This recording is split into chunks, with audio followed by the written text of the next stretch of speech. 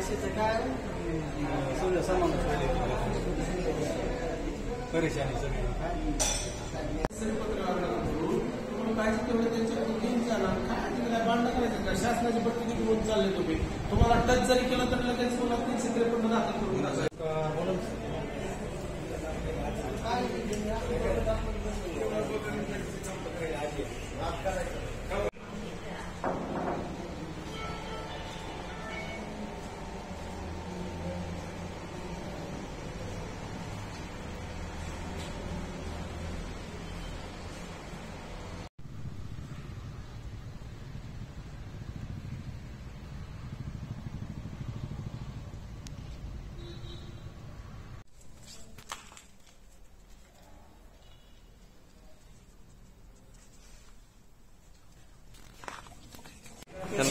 त्यांना आता बोला ना तेवढी त्या रूममध्ये उघडी जाऊ का म्हणा.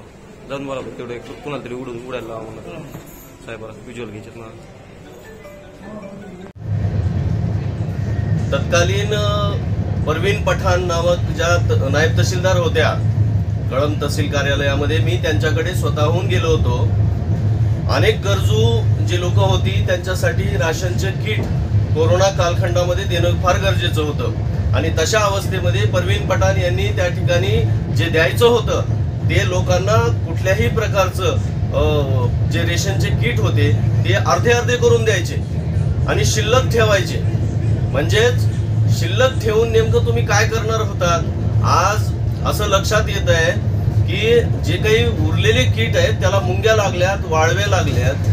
लोकांच्या पोटामध्ये अन्न जाण्यासाठी जी आवश्यकता होती ते अन्न तुम्ही नासवता वाटोळं करता त्याचा काय फायदा होणार आहे तुम्हाला? आणि तुम्ही अशा पद्धतीनं अन्न नासवून या अन्न नास ला- नासलेल्या अन्नाला कोण जबाबदार आहे? हे अन्न त्या कोरोना कालखंडामध्ये लोकांच्या पोटामध्ये जायला पाहिजे होतं. लोकांना ते खायला मिळायला पाहिजे होतं. लोक अन्न अन्न करून अडचणीमध्ये आली. आणि तशा अवस्थेमध्ये जर तुम्हाला ते अन्न लोकांपर्यंत पोहोचवता आलं नसेल तर या याच्यापेक्षा खेदजनक आणि शर्मेची बाब दुसरी नाही. याच्यावरती जरूर कारवाई झाली पाहिजे. जो कोणी याच्यामध्ये दोषी असेल त्याच्यावरती निश्चितपणे कारवाई झाली पाहिजे. गतवर्षी कोरोनाच्या काळामध्ये तुळजाभवानी मंदिर संस्थानने जनतेच्या पैशातनं जे अन्नधान्याचे किट गरजवंतांना वाटप करण्यासाठी कळम तहसीलला पाठवले होते ते आजही धूळ खात तसेच पडून आहेत.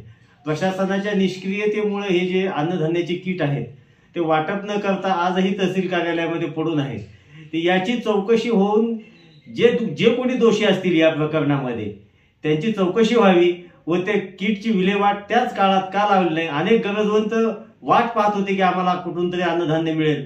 ते आज तयार मिळालेलं नाही. आजही ते सामान जसंच्या तसं कळमच्या तहसील कार्यालयामध्ये धूळ खात पडून आहे.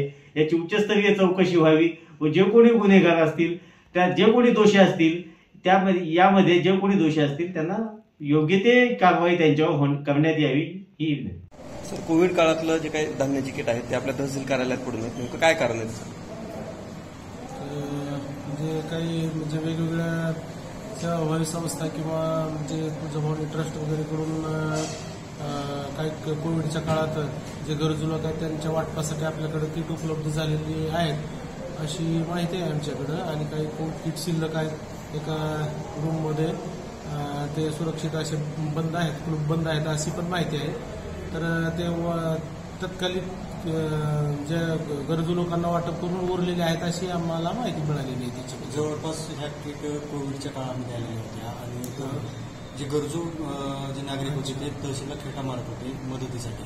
मात्र त्यावेळेस दिल्या जात तर त्यावेळेस वाटप झालेले आहे काय उरलेले असतील त्याच्यात? आता नेमकं त्याच्यातला जो आहे तो बघावं लागेल कारण ते आम्ही ठेवून टाकलेले आहेत किट तसेच पॅक